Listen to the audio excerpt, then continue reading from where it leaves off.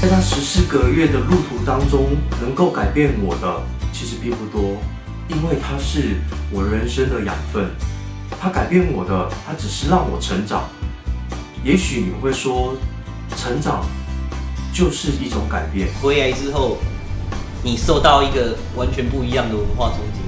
以一个很现实面来讲的话，我们其实都必须去认识一下中国，去了解那块土地。就站在经济面的角度来讲的话，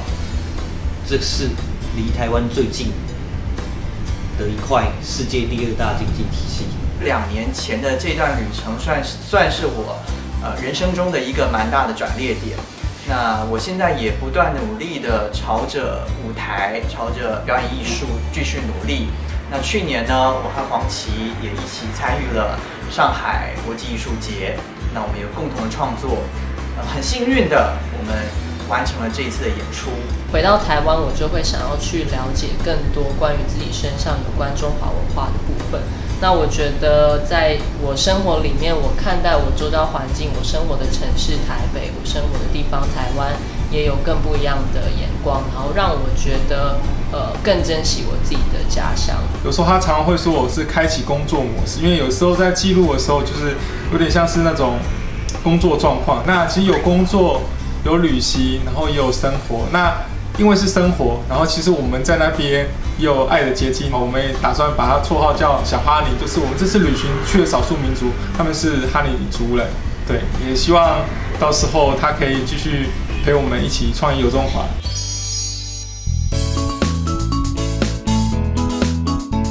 在创意有中华中间还有一个在金山的 workshop 啊，就是让我们学习如何去呃拍纪录片，或者是用纪录片的观点去观察，就是